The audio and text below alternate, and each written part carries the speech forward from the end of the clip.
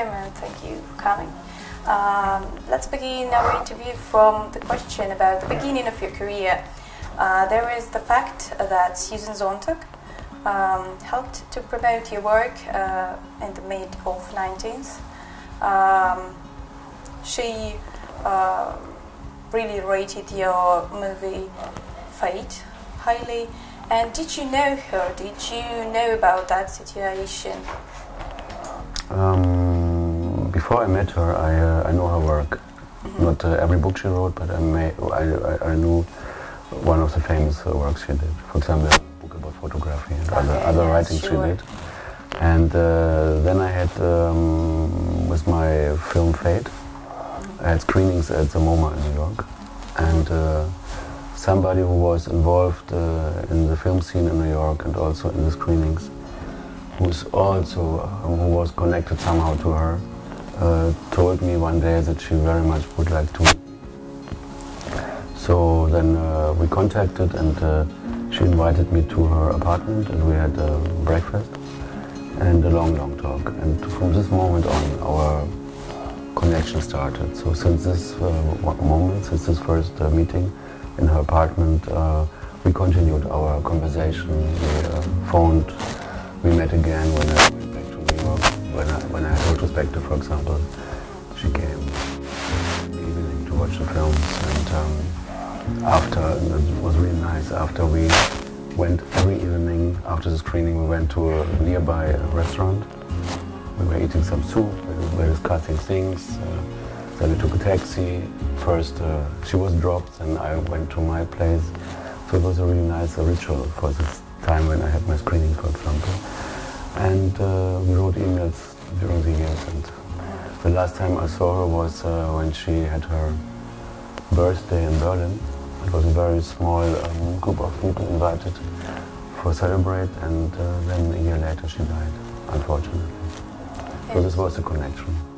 She is very famous here of, of her book on photography, you said. And um, how uh, her articles or her works, maybe her vision, uh, have influenced on your view of art? Mm. Not, not directly, because um, uh, of course her work was all not only theoretical, because she wrote also novels, as you know. But uh, in general, um, more theoretical work is never influencing my, my own work nobody because filmmaking has very much to do with a personal vision so it happens very much inside you. And um, with, uh, with other arts and with film art also so these things influence you. I think she is like a, she still is after she died like a lighthouse, you know, at the ocean where you can orientate. Um, there's, a, there's, a, certain level you have to achieve and a certain uh, attitude you have to defend. And this is something very important. She's, she's definitely one of the persons who had a, who had an attitude. She was formulating her attitude. She had demands. She had a very strong ethical position. And this is something you can take as, a, as an important orientation. How have you kept such commitment to film uh, in era of widespread, cheaper, digital? Okay, I shot my last film, for example, with digital uh -huh. camera. Uh -huh. And um, it's simply a reality. So we are living in a world now yes. where digital is quite dominant. And um, so it would be a, a, stupid, let's say, to ignore it. Mm. Because we should be able to uh, to, uh, to understand what's happening around us and not to live in a kind of bubble.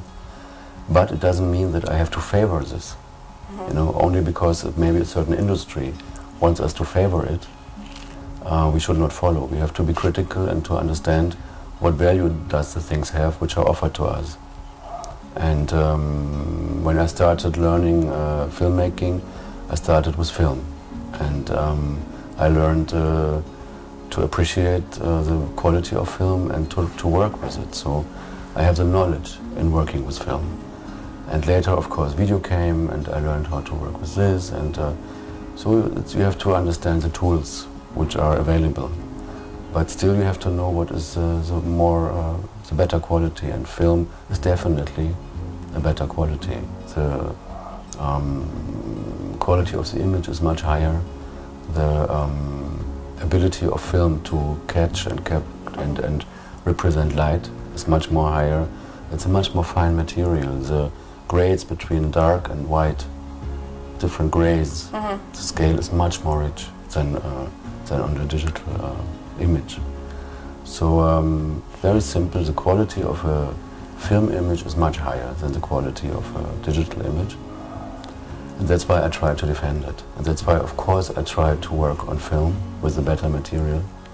It's the same like if um, somebody would offer you uh, a chain of um, a necklace of uh, real pearls or a necklace of fake pearls. What would you take? Oh yeah. You would take the real pearls. Sure. They are more beautiful and um, th- they shine more. So we have to make a choice. Many things are offered to us good things, bad things, um, valuable things, cheap things. We have to choose. And I still choose uh, film because it's better. And it does, but it does not mean that I, as I said, that I don't work digitally because the last film I did, for example, digital. But um, you have to know how to use a digital image. And um, I think there's a big problem nowadays uh, using digital, which is not film, trying to make an image which, which looks like film.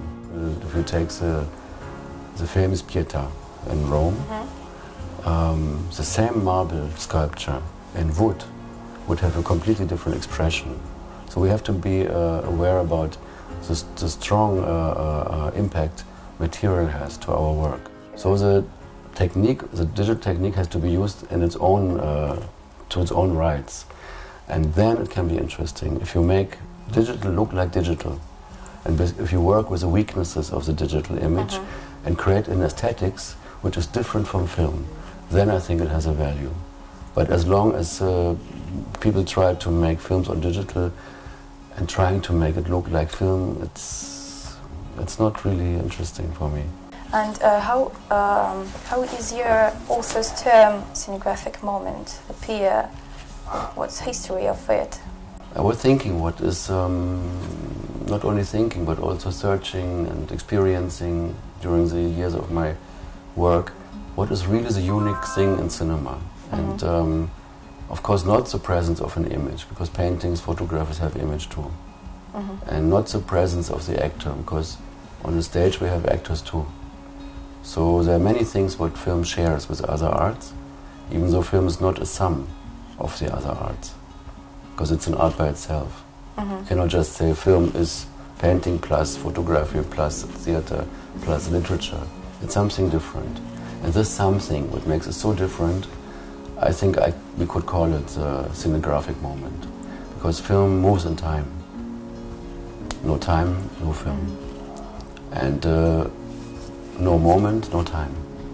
And the, mom- and the moment when uh, a moment becomes eternal, eternity, that's the end of time.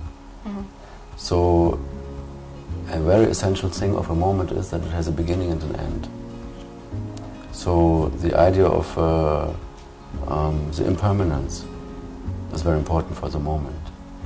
The question is, uh, what um, attracts you in work uh, as theater director? Then you. No, I wasn't a theater director. Uh, theater director. I was uh, after my school. Um, I uh, did some uh, practical work at the theater as an assistant, which was very helpful. So I Mhm. learned a lot about uh, mise en scène, about directing, about uh, let's say the movement of the actors on the stage in the space. And then I studied film and um, theater. I made later, after I finished school already, and after I did some films Yes. because some theater asked me to, if I can imagine to do a play, Ah, okay. and I That agreed, way. and uh, I worked on several theaters to do some things. But I, um, basically, I'm of course uh, in film. In Film. Okay. But So- occasionally, I also worked in theater, and it's also interesting. But it's completely different work, so you need a different, completely different kind of uh, presentation Mhm. of your ideas um, or of, your, of, of what you want to express uh, on a stage or in front of a camera. very different. And actors should know this. Because acting in front of a camera is very different Mhm. from acting on a stage. And unfortunately, today there are still not enough uh, schools, there's not enough education for, for actors in front of camera. Because many actors are basically trained to be theater direct actors, So, theater actors, actors, Yes. and they don't know about cinema. But it would be interesting to have, uh, for example, an education for actors, especially for the camera, for the film, because it's very different. It's interesting. Really, I don't think about that. Really. And we are living in the 21st century, so film is not something very new, Yes. even though it's- very young. But I think it's time to understand that film is based essentially very different from theater, and it needs a different education, also for um, actors. And uh, in, in your film Survivor Songs of War, uh, it's mentioned uh, 11 cinematographers. I saw. Uh, what are the reasons of such a great number? It's 10 plus me. This makes 11. Yes, 10 plus you, sure. That's And uh, the reason was that uh, I was shooting the film um, uh, in occasion of a workshop I gave Mm. in Sarajevo for Mhm. young cinematographers. Not students, they were all finishing, or they all finished already their Mhm. education. They were young cinematographers who did already some films, but who wanted to make some more experiences. And uh, for this um, master class, I decided to shoot film with them. And Mhm. I did it in two years, twice. One, t- one I did in 2015 and one in 2016 Mhm. no, 14 and 15. And um, in both years, I shot uh, one part and another part of this uh, film, and then the third part I shot alone. And um, because the whole film works like a triptych Mhm. in three parts, even though the parts are connected. So it's like really a triptych where every part is connected with the other. It's not three independent films Mhm. but because they interact. And um, that's the reason why uh, the film has 10 plus me as cinematographers. And uh, cinematographers, maybe I know they, that way, maybe another people think so. Cinematographers uh, stay hidden so often. How can we fix it? Uh, or maybe it doesn't need? Because we know uh, only directors, I think. uh, We, we write a film director, film director. Yeah, that's a big problem, but on the other hand, it's good that a cinematographer is hidden because he's behind the camera yeah. and it's a good place for him. So he should not be too visible. Then something is wrong. You know? If suddenly the cinematographer appears in front of the camera, it means that behind the camera there's nobody, and this should not happen. But um, of course, the importance given to the director is a little too over. Uh, it's a little too exaggerated because Mhm. no director can make a film alone. And film as a visual art needs, of course, a cinematographer. And um, I think the importance of film cinematographers are um, underestimated a lot. Mhm. And it, of, you are right, it always says the film is by the director, this is not true.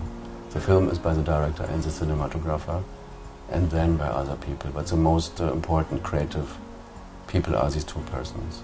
And um, people should be more aware about this, that the same film with the same director, with the same mise en scène, same actors, same script, would look very different with a different uh, cinematographer Mhm. because he gives a lot to the film. His vision, his uh, uh, ideas, his way maybe of moving a camera, his way of lighting um, influences the film in a very high level. Mhm. So um, it's true. They are more and more important than uh, people think. Your films are shown uh, at festivals mostly, but who is your real viewer? How do you imagine him? Do you have If, a if you are interested to watch a film of mine and you go to the cinema, you Ah, are okay. the real viewer. Everybody. A man, Everybody. a woman, a dog, a cat, a man, women, a women, man, a transvestite. It doesn't matter. Everybody who wants to watch a film can watch a film. Hmm. I have no special group of people I want Mhm. to uh, reach, let's say. Ah, okay. I everybody every film is a is an offer, you know. It's Mhm. a very to make to, to and I think any art should be very generous. Mm-hmm.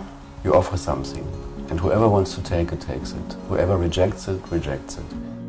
It's a, it's an ex, it's like a message in a bottle. Mm-hmm. You have to you have to give your message in a bottle. It's your mission. You have to throw it in the ocean, and whoever takes it takes it, and whoever profits from it or benefits from it um, benefits from it, and that's nice. People don't like your work, Mhm. okay.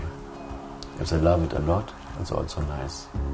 But you should not be uh, corrupted, Mhm. not by the uh, praise people might may give you, and not by the rejection. Uh, so, and you uh, you have worked with students from many countries, and uh, it's interesting to know um, what topics, what issues uh, they um, provide in their films now.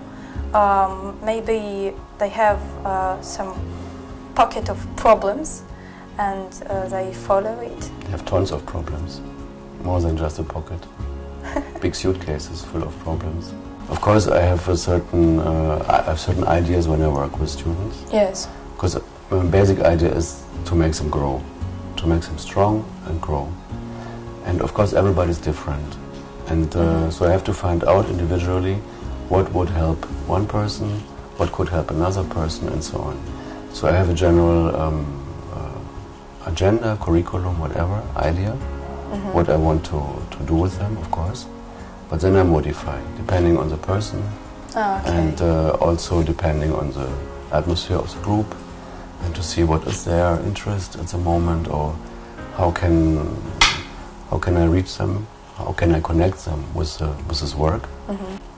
so and of course working with students for a long time now uh, I have some experience and um, I, and also having studied by myself so Mhm. I can somehow imagine what is necessary what is not necessary what is helpful, what is not helpful, and this I, I try to do. Mhm.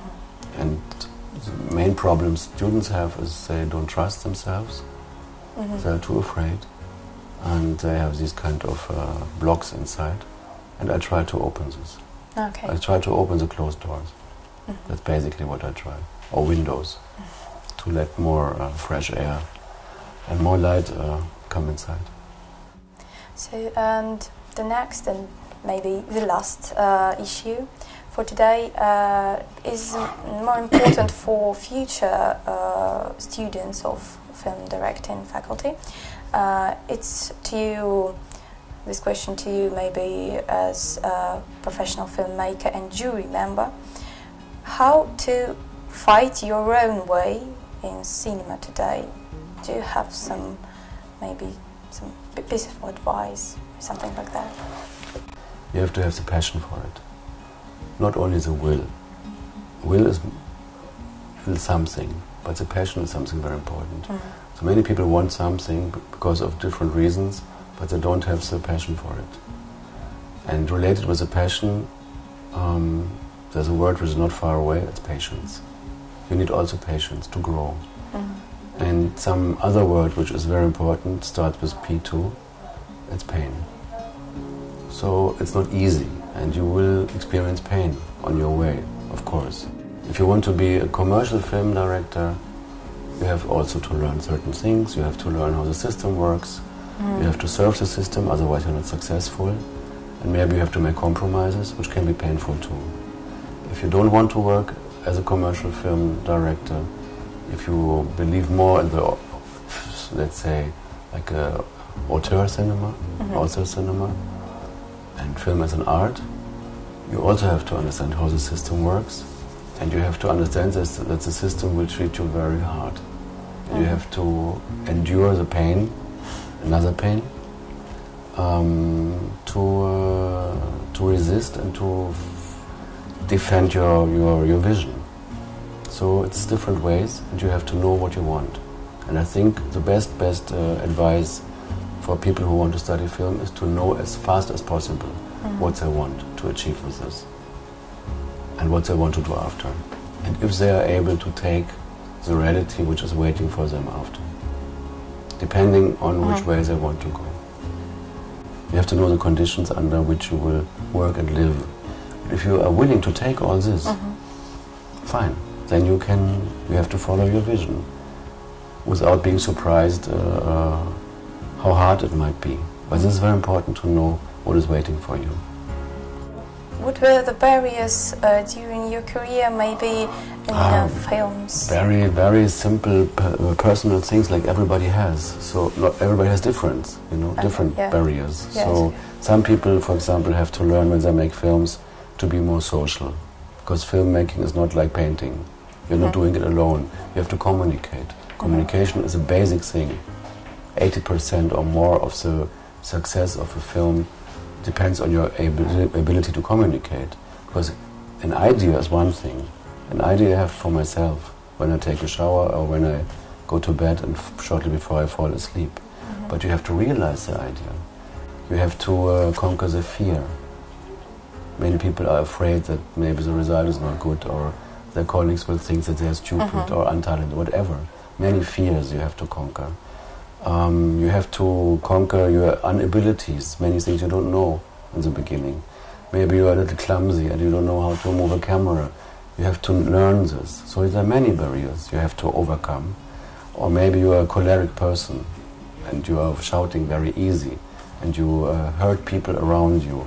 It's also not good. You have to learn to control your temper, you know. Mhm. So these are very personal things which are not related with film, but with your character. You have demons inside you, and you have to uh, control them. So everybody who makes a film will sooner or later meet his inner dragons, and you have to fight them. For example. So that's that's there are a lot of things to uh, to to overcome, but it never finishes. So you you are Mhm. learning this till you die. I'm sure.